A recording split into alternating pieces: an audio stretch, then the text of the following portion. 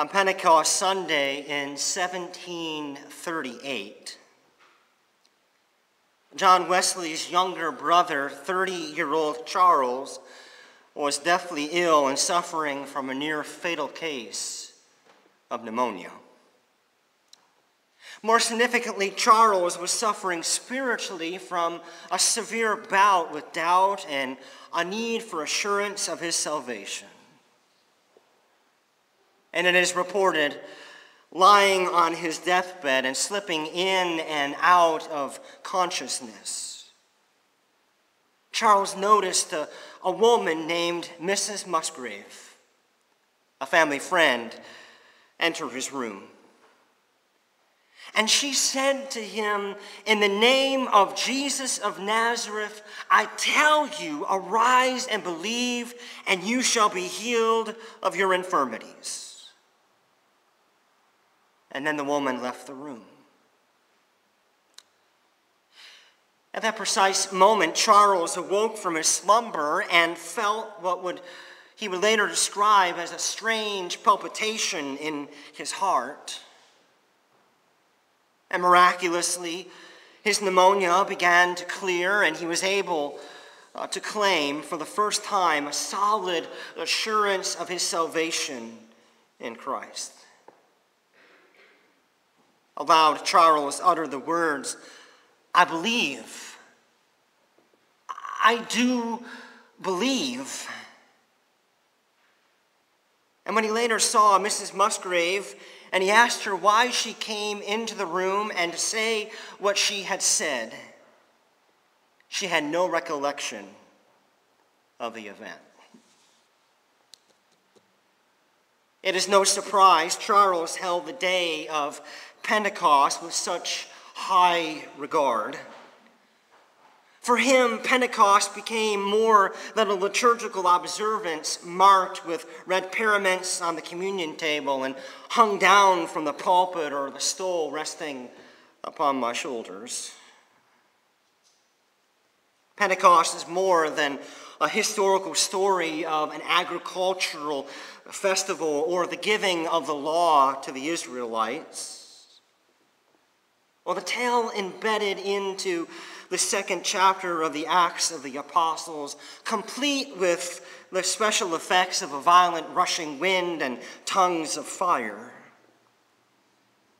Pentecost marked the moment when Charles began more, became more than a professing Christian, but a committed follower of Jesus as well, guided and shaped by the Holy Spirit.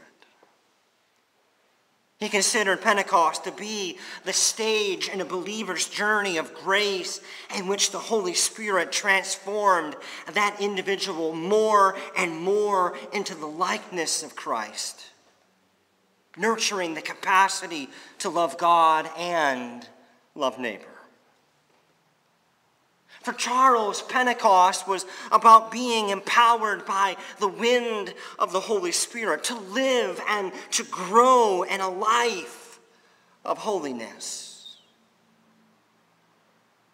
A prolific writer of roughly 10,000 hymns, he is credited with such beloved hits as, Oh, for a thousand tongues to sing and Christ the Lord is risen today, and hark the herald angels sing, to name only a few.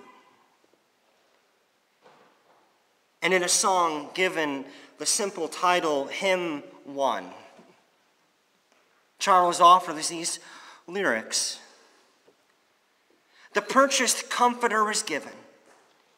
For Jesus is returned to heaven to claim and then the grace impart. Our day of Pentecost is come. And God vouchsafes to fix his home in every poor, expecting heart. This morning, the line, Our day of Pentecost is come, swirls in my soul. In her book, Home by Another Way, Barbara Brown Taylor reminds us that from the beginning of time, The ancient air just keeps recirculating, which means that every time any of us breathes, we breathe stardust left over from the creation of the world. We breathe uh, brontosaurus breath and pterodactyl breath. We breathe air that has circulated through the rainforests of Kenya and the air that has turned yellow with sulfur over Mexico City.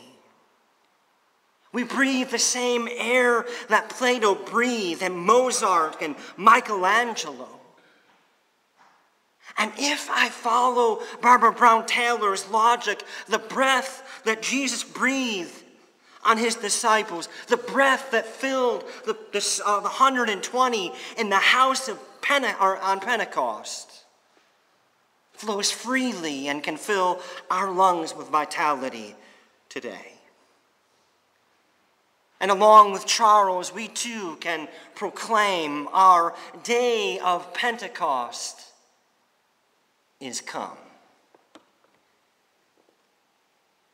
Our relationship with God does not end at the moment of our conversion or when we take our membership vows.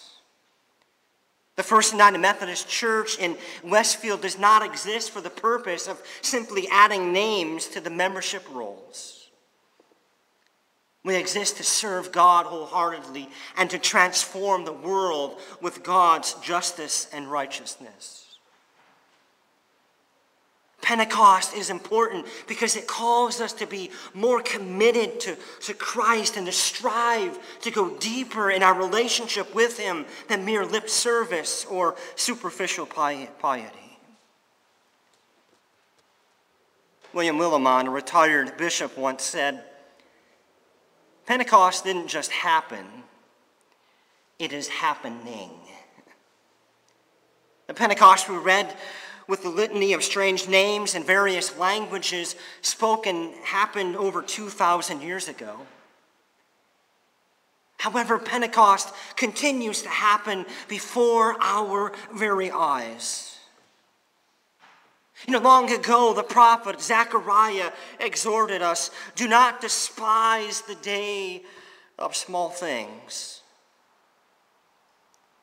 The second chapter of Acts tells of a small group of 120 believers who came together in the middle of the Roman Empire. And as they were filled with the Holy Spirit, they turned the world upside down. And today, three individuals in a community of 4,464 residents are poised to do the same. Church, our day of Pentecost is come.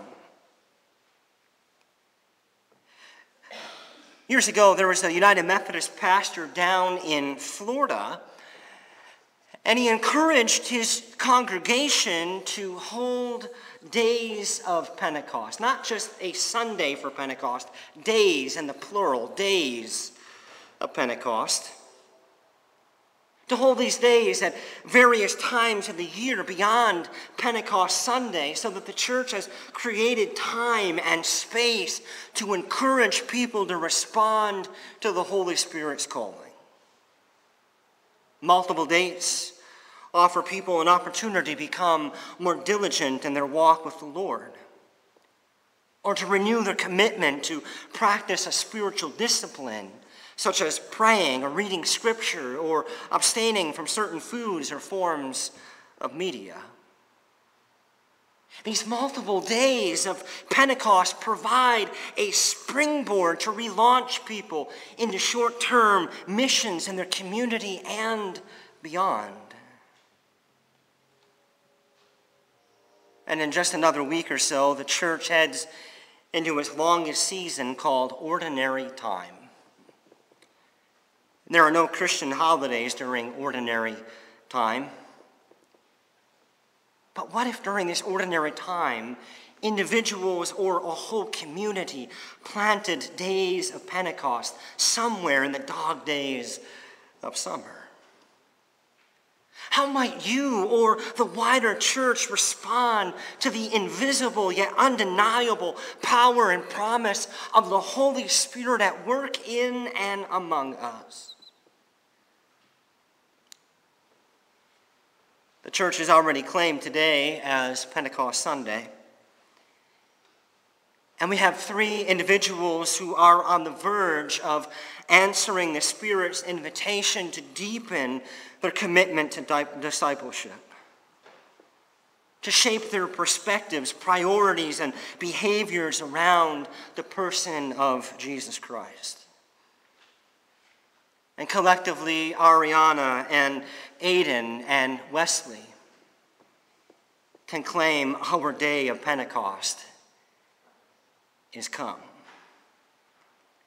And for the rest of us gathered here, we do not merely sit in our pew overhearing what will happen up here in just a few moments.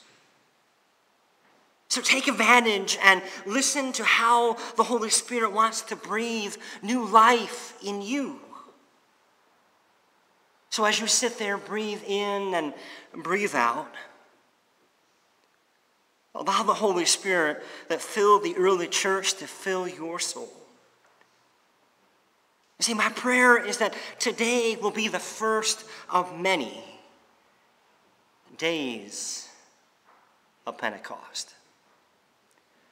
I offer this to you this morning in the name of the Father and of the Son and the Holy Spirit.